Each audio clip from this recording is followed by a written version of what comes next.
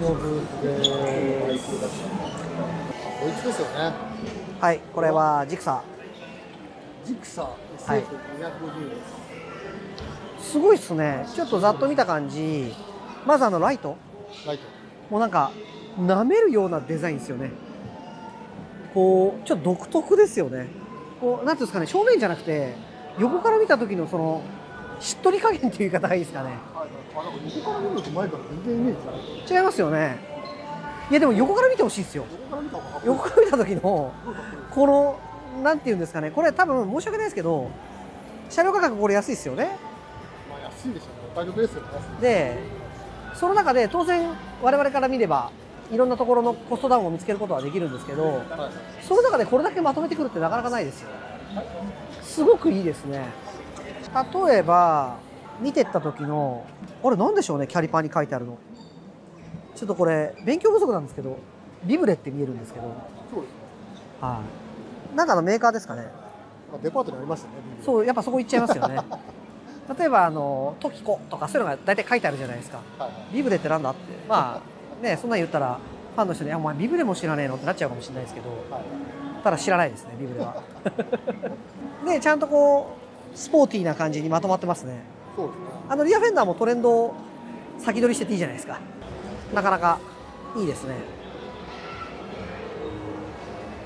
で多分これスチールのパイプフレームが中に隠れてると思うんですけどもう完全に隠してますね割り切って。これ丸パイプフレームをもうネイキッドかなんかのフレーム入ってんじゃないですかね多分。だってこのタンデムステップ見てくださいよこれ。これ普通にあのネイキッドとかについてるステップですよね。だから多分これ一体なんじゃないのかなもしかして。そうですね。フレームから入ってますもんだってほらだ。だから作り的には多分ネイキッドかなんかをベースにフルカウルつけたんでしょうね。多分この荒技がもう大好き。なんかうまいですね。まとまってますね。わかんないですから。わかんないですよね。はい、よくできてますよ、はい、すごくいいなと思いますけど。次行きましょう。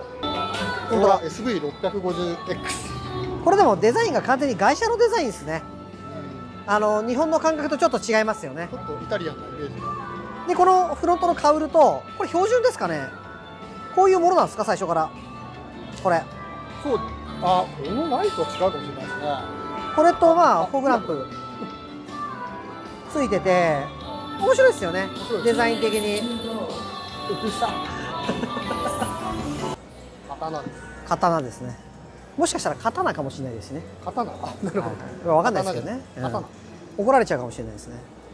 間近でちゃんと見るのは2回目ぐらいですかね。まあ刀と言われれば刀ですけど刀じゃないと言われれば刀じゃないですよね。これね。うん。噂のリバイバルの仕方ですね。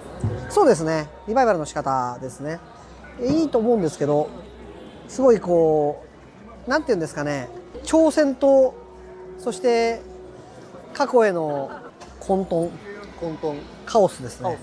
はい。この車両は。コンパクトですねなんかあのもうちょっと質感。例えばこれ？これ樹脂カバーでしょ、そうですね。で刀。うん刀ってはあのほぼ95%ぐらい金属だと思うんですよ。はいはい。日本刀の話ですよはい。はいであ日本刀の話ですねそれこれなんかすごい樹脂率高いというかはいそういうところはちょっと気にはなりますけどね、うん。こっち側かもしれないです。これじゃなくてこっちかもしれない。ただなんか、うん。いやあの今時の感じでかっこいいですよ。ただ刀っていう名前つけない方が良かったかもしれないですね。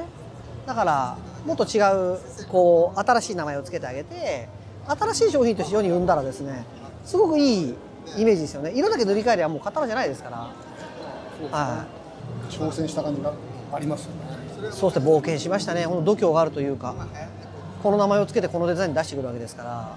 これはどうですか？乗ってみたいですか？もう全然乗ってみたいですね。良さそうじゃないですか。あのね可愛いですね。うん。こう丸くて。顔つきが可愛いですね。はい、あの例えばあのモンキーとかに昔外装キットって言ってて、、はい。ろんなバイクに変身させるキットがあったんですけど、はい。それに合った刀に似てますよね。なるほど